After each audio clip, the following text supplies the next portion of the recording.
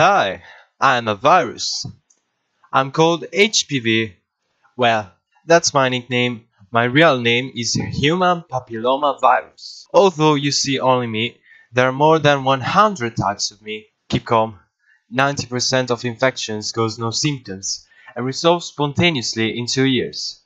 But you must pay attention, because I'm sexually transmitted. As you can see, I'm really similar to my cousins, HIV, that causes AIDS, of course, and HSV, called herpes too. But we are not the same. My work is to infect people for my reproduction. Be aware, I can be more powerful if my victim's got a lot of intimate partners or if his immune system is weak. To prevent me, you can have the HPV vaccine or practice safe sex.